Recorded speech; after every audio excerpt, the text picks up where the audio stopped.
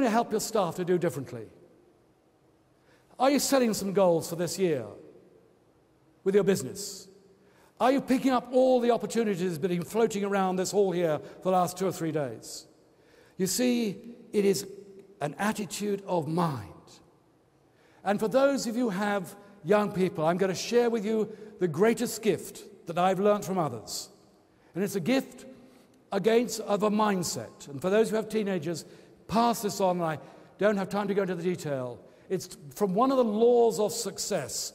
These are real laws. I didn't make them up. I'm just not clever enough, but I've learned from others cleverer than me because I only talk about things I've tried and tested and used. And this law of success says it's desire, not ability, that determines our success. It's desire, not ability. We've seen in so many occasions people say, oh, success is all about ability.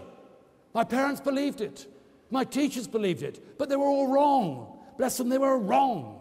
Success is not about ability, it's about desire.